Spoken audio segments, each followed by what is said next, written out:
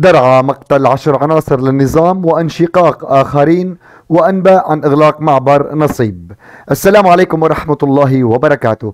إليكم موجز الأخبار من قناة أخبار عامة منوعة. قبل بداية هذا الخبر أخواتي الكرام بدعوكم بالاشتراك بالقناة وتفعيل زر الجرس ولا تنسوا الضغط على زر اللايك لحتى نوافيكم بكافة تفاصيل تحياتي لكم أخواتي الكرام وردنا منذ لحظات خبر عن درعا البلد بيقول أفادت مصادر خاصة لموقع تلفزيون سوريا بمقتل عشر عناصر من قوات النظام مساء اليوم الخميس باشتباكات مع مقاتلين محليين عند حاجز طريق تل الجابية غربي مدينة نوى بريف درعا الغربي.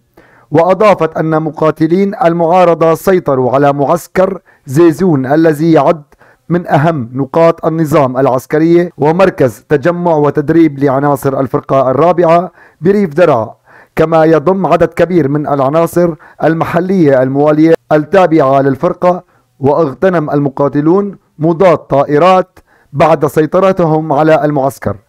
كما تمت السيطرة على ثلاث حواجز تابعة لقوات الأسد في محيط بلدة الجيزة شرقي درعا وتتبع الحواجز للفرقة ال15 كما سيطر مقاتلون من أبناء مدينة إنخل شمالي المحافظة على حاجز المسلخ والحاجز الواقع على طريق بلدة سملين بالتزامن مع قصف النظام المستمر على مدن جاسم وأنخل ونوى. وأكد المصدر الخاص أن عدد من عناصر النظام أعلنوا انشقاقهم على حاجز الراي غربي درعا بعد اشتباكات أسفرت عن مقتل القيادي من فصائل المعارضة الشيخ معاذ الزعبي الملقب بأبو الليث مع المقاتل الشاب أسامة عجاج. كل الحب والإحترام لكم أخواتي الكرام. فضلا وليس امرا. لا تنسوا الضغط على زر ال like. ترفعوا لنا الفيديو بزر ال like. تشتركوا بالقناة. تفعلوا زر الجرس. تشاركوا الفيديو لكافة إخوانكم.